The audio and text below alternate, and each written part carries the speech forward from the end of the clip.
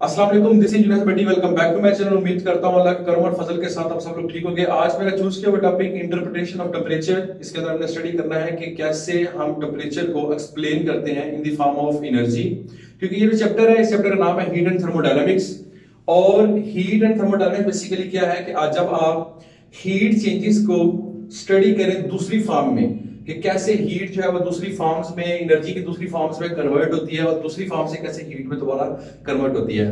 तो इस चीज़ को स्टडी करने के लिए हमें जो सबसे इंपॉर्टेंट टूल हमारा है हीट को स्टडी करने के लिए वो हमारा टेम्परेचर है। सबसे पहले हम टेम्परेचर की वजाहत कर, करते हैं इसकी एक्सप्लेनेशन करते हैं।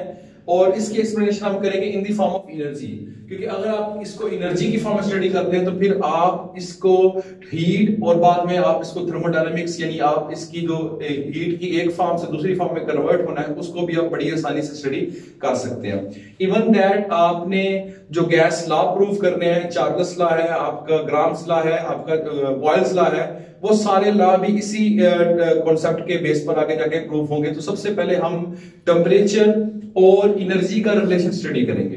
तो इसको स्टडी करने के लिए सबसे पहले इसकी डेफिनेशन देखते हैं। या डेफिनेशन कह लें या इसका स्टेटमेंट समझ लें आप। वो है बच्चे the average kinetic energy of gas molecules of an ideal gas अच्छा सबसे अहम चीज़ आइडियल गैस ही हम क्यों स्टडी कर रहे हैं? अच्छा मोस्टली बच्चे क्लास में उससे क्वेश्चन करते हैं कि सर जब आइडियल गैस एग्जिस्ट नहीं करती या आइडियल सिचुएशन एग्जिस्ट नहीं करती तो हम उसको स्टडी क्यों करते हैं? उसकी रीजन ये होती है कि हम जब भी थ्योरेटिकल वर्क करते हैं तो हम 100% एफिशिएंसी वाला वर्क करते हैं। हम थ्योरेटिकल वर्क एक 100% एफिशिएंसी एफिशिएंसी वाला कर लेते हैं, उसके बाद हम वैसा करने की कोशिशें करते हैं प्रैक्टिकली नो डाउट प्रैक्टिकली वैसा नहीं होता, लेकिन आप उसके करीब करीब चले जाते हैं। तो इंटरप्रिटेशन या आपने बॉयल्स लॉ चार्लस लॉ कुछ भी प्रूफ करना हो तो आप उसके लिए हमेशा एक आइडियल गैस ही लेंगे क्योंकि आप सबसे पहले आइडियल गैस पर चीज़ें एप्लीकेबल करेंगे, और बाद में वैसी रियल गैसेस फाइंड करेंगे, या आप दूसरे लफ्जों में ऐसा कह लें कि आप फिर वैसे एक्सपेरिमेंट करने की कोशिशें करते हैं। तो इसके अंदर वो कह रहा है कि अगर आपके पास गैस के मॉलिक्यूल्स हो, किसके? आइडियल गैस के उसकी जो एवरेज काइनेटिक एनर्जी होगी, वो बेसिकली डायरेक्टली प्रोपोर्शनल होगी उसके एब्सोल्यूट टेंपरेचर के। इट्स मीन के जितनी गैस के मॉलिक्यूल्स की काइनेटिक एनर्जी ज़्यादा होती जाएगी, उतनी ही उसकी, उसका टेंपरेचर भी इंक्रीज होता रहेगा। लेकिन कौन सा एब्सोल्यूट टेंपरेचर कैल्विन वाला टेंपरेचर तो कुछ पॉइंट्स हैं एमसीक्यूज हैं। ये जो आपका, आप टेम्परेचर की एक्सप्लेनेशन स्टडी कर रहे हैं, उसमें आप एक बात याद रखेंगे कि ये प्रेशर वॉल्यूम और नेचर ऑफ़ गैस, इन तीन चीज़ों पर डिपेंडेंट नहीं होगी। अगर यहाँ पर आपके पास एक ऐसी कंडीशन हो, यानी यू हैव अ कंडीशन जो कि प्रेशर डिपेंडेंट है यू हैव अ कंडीशन जो कि वॉल्यूम डिपेंडेंट है यू हैव अ कंडीशन जो कि गैस पे डिपेंड कर रही है मॉलिक्यूल पे डिपेंड कर रही है, वहाँ पर ये बातें आपकी एप्लीकेबल नहीं प्रॉपर हो पाएगी, क्योंकि आप यहाँ पर एक आइडियल गैस ले रहे हैं। तो आइडियल गैस के लिए ये वाली सिचुएशन आपकी क्रिएट होगी।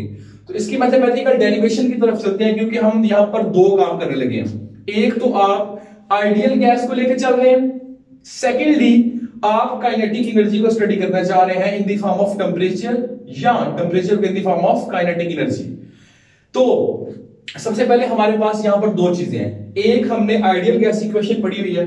अगर आप लोगों को याद हो तो आइडियल गैस इक्वेशन कुछ इस तरह से थी P V is equal to n R T ये इसको जनरल गैस इक्वेशन भी कहा जाता है।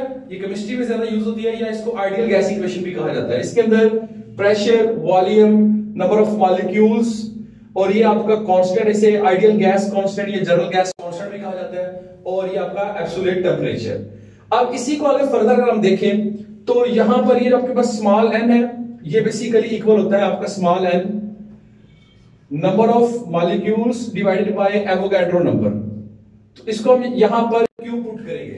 एक्चुअली हमारे पास एक कांस्टेंट है। हम इसको दूसरे कांस्टेंट के साथ मिक्सअप करके एक बोर्ड स्पैन कांस्टेंट के नाम से इसे जाना जाता है। हम इस फॉर्म में कन्वर्ट करेंगे ताकि हमारी कैलकुलेशन आसान हो जाए। आप इसको इस तरह भी यूज़ कर रहे हैं तो आपकी कैलकुलेशन ईजी है, लेकिन जब भी हम कोई इक्वेशन ड्राइव कर रहे होते हैं हमारा मकसद होता है उसकी सिंपलेस्ट फॉर्म को कैलकुलेट करना। और यहाँ पे तो हमारा मकसद ही कुछ और है। हमने एक्चुअली इस बात को प्रूव करना है डायरेक्टली प्रोपोर्शनल को, कि ये जो टेम्परेचर है और ये जो काइनेटिक एनर्जी है, ये दोनों डायरेक्टली प्रोपोर्शनल है और एक अहम पॉइंट देखिए, अगर आप लोगों को कुछ गैस ला आपके जेन में हो तो आप लोगों को याद होगा चार्लस ला कुछ इस तरह से है। V is directly proportional to temperature तो क्या V टेम्परेचर की जगह पे पुट हो सकता है? बिल्कुल भी नहीं। क्या टेम्परेचर वॉल्यूम की जगह हो सकता है? बिल्कुल भी नहीं। लेकिन इस स्पेसिफिक केस में हम इस तरह की स्टडी करेंगे कि जब हम ये कहेंगे कि काइनेटिक एनर्जी और टेम्परेचर ये दोनों एक दूसरे की जगह पर पुट हो सकते हैं माइक्रो लेवल पे मैक्रो मैक्रो लेवल पे, बड़े लेवल पे आके। यानी बड़े लेवल पे आके अगर आपने एनर्जी को स्टडी करना हो किसी गैस किसी गैस गैस के मॉलिक्यूल की एनर्जी को स्टडी करना हो उसकी ट्रांसलेशन एनर्जी को स्टडी करना हो तो आप उसकी एनर्जी को स्टडी करने के बजाय उसके टेम्परेचर को अगर स्टडी कर ले तो आपको उसकी एनर्जी भी अंडरस्टैंड हो जाएगी। इवन दैट आप लोग जब चार्लस ला या बॉयल्स ला इनको प्रूव करने की तरफ़ जाएँगे तो वहाँ पर आप इसको यूज़ करेंगे। आप काइनेटिक एनर्जी की जगह पर टेम्परेचर और टेम्परेचर की जगह पर डायरेक्टली काइनेटिक एनर्जी पुट कर सकते हैं। लेक्चर के एंड पर मैं ये बात बताऊँगा कि क्यों वॉल्यूम और टेम्परेचर ये भी डायरेक्टली प्रोपोर्शनल है और हमने इस लेक्चर में जो प्रूव करना है काइनेटिक एनर्जी और टेम्परेचर ये भी डायरेक्टली प्रोपोर्शनल है। जबकि काइनेटिक एनर्जी और टेम्परेचर एक दूसरे की जगह पुट हो सकते हैं, लेकिन वॉल्यूम और टेम्परेचर एक दूसरे की जगह पुट नहीं हो सकते। तो लेक्चर को अगर स्टार्ट करते हैं फर्दर। देखिए, हम इसकी जगह पर जब पुटिंग करेंगे तो हमारे पास कुछ इस तरह से सिचुएशन आ जाएगी। PV is equal to capital N divided by Avogadro number RT इसको हम मजीद सिंप्लीफाई करेंगे और इसको हम मजीद जब सिंप्लीफाई करेंगे तो हमारे पास कुछ इस तरह से कंडीशन बन जाएगी। ये एन भी एक वेरिएबल है जबकि R और NA ये दोनों कांस्टेंट है। हम यहाँ पे इन कांस्टेंट को खत्म क्यों कर रहे हैं? हम इसको कांस्टेंट फॉर्म में क्यों बना रहे हैं? एक्चुअली हमारा मकसद क्या है?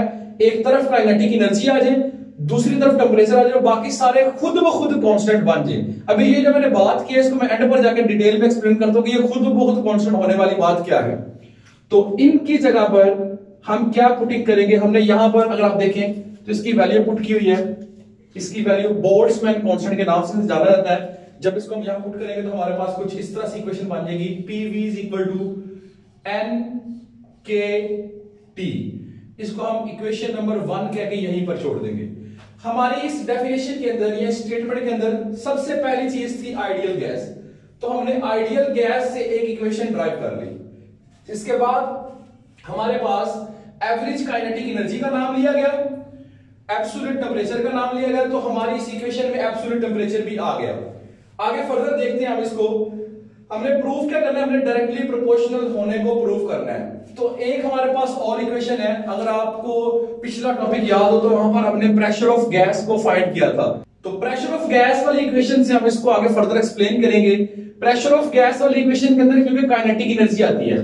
तो प्रेशर ऑफ़ गैस वाली इक्वेशन कुछ इस तरह से थी। P is equal to two by three n by volume into kinetic energy ये आपके पास एवरेज ट्रांसलेशनल काइनेटिक एनर्जी है। ये जो साइड पर दो बार्स हैं, ये बेसिकली एवरेज को या मीन वैल्यू को शो करते हैं।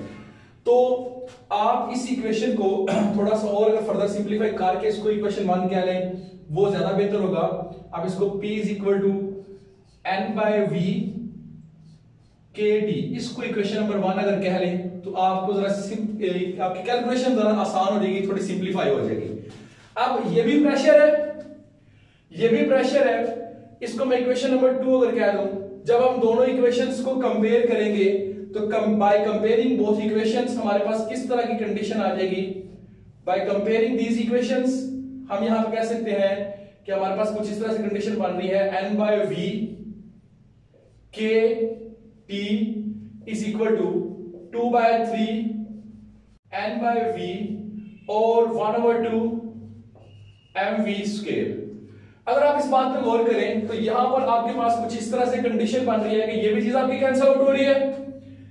ये भी कैंसिल आउट हो रहे हैं। यहाँ पर सिर्फ़ आपके पास एक तरफ़ टेम्परेचर बच गया है और इस तरफ़ टू बाय थ्री के into average kinetic energy average translational kinetic energy आप इसे कह सकते हैं।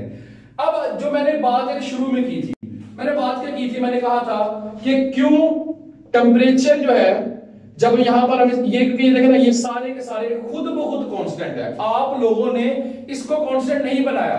जबकि जब आप बॉयल्स ला स्टडी करें या चार्लस ला स्टडी करें, वहाँ पर मसलन मैं चार्लस ला स्टडी करता हूँ। जिसको मैंने पहले भी एग्जांपल आपको दी थी, यानी V is directly proportional to T और मैंने ये कहा था कि क्यों जो है वॉल्यूम वो टेम्परेचर की जगह पुट नहीं हो सकता, जबकि टेम्परेचर और काइनेटिक एनर्जी एक की जगह पुट हो सकते हैं। उसकी रीजन यही थी कि यहाँ पर हमें खुद चीज़ों को अज्यूम करना पड़ा लेट करना पड़ा कि वो कांस्टेंट होंगी, या हमें उन्हें कांस्टेंट करना पड़ा। जैसे जब इसी लॉ को स्टडी किया तो हमें प्रेशर और नंबर ऑफ़ मॉलिक्यूल्स को कांस्टेंट करना पड़ा। तब जाके ये चार्ल्स लॉ हमें मिला। लेकिन यहाँ पर हमें किसी भी चीज़ को खुद ब खुद कांस्टेंट नहीं करना पड़ा। तो यहाँ पर हमने जब किसी चीज़ को खुद ब खुद कांस्टेंट नहीं किया हमारे पास पहले ही चीज़ें सारी तीनों की तीनों कांस्टेंट थी। तो आपको पता है किसी भी इक्वेशन में से जब कांस्टेंट को खत्म कर दिया जाए तो वो इक्वेशन रिलेशन में कन्वर्ट हो जाता है। हमारे, हमें रिलेशन यहाँ पर क्या मिल रहा है? P temperature is directly proportional या absolute temperature is directly proportional to the average kinetic energy तो इसी के साथ हमारा ये टॉपिक प्रूफ भी हो रहा है और हमें ये इंटरप्रिटेशन भी यहाँ पर मिल रही है। इस इक्वेशन से हमें साबित क्या हो रहा है? क्योंकि ये सारे के सारे खुद ब खुद कॉन्स्टेंट है। हमने इनको कॉन्स्टेंट नहीं बनाया।